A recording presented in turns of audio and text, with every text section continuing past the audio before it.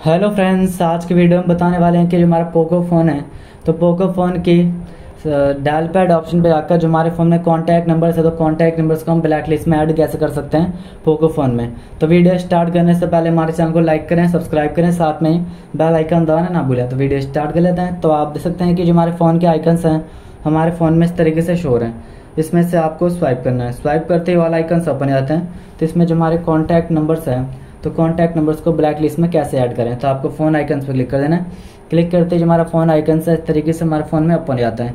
इसमें से आपको क्लिक कर देना थ्री डॉट पे। फिर आपको क्लिक करना है इसमें से सेटिंग्स पे। तो क्लिक करते जो हमारे फ़ोन की डायल पैड सेटिंग से ओपन जाती है। तो हमारे पास ऑप्शन आएगा। आपको इस पर क्लिक कर देना है। ब्लॉक मोबाइल्स पे। तो इसमें जो भी नंबर्स को आप ब्लैक लिस्ट में ऐड करना चाहते हैं यहाँ से कर सकते हैं। आपको ऐड नंबर क्लिक करना है। तो यहाँ से नंबर्स पर क्लिक कर देंगे। और जिस भी नंबर्स को ब्लैक लिस्ट में ऐड करना चाहते हैं, यहाँ से ऐड हो जाएगा हमारा नंबर आप जिस भी नंबर्स को चाहेंगे, उस नंबर्स को आप ऐड कर सकते हैं इस तरीके से ब्लैक लिस्ट में। तो इस तरीके से हमने फ़ोन के डायल पैड सेटिंग्स जाकर कॉन्टैक्ट नंबर्स को ब्लैक लिस्ट में ऐड कर सकते हैं अपने पोको फ़ोन में। तो आपको वीडियो अच्छी लगी तो लाइक करें सब्सक्राइब करें, साथ में ही बेल आइकन दबाना ना भूलें। और थैंक यू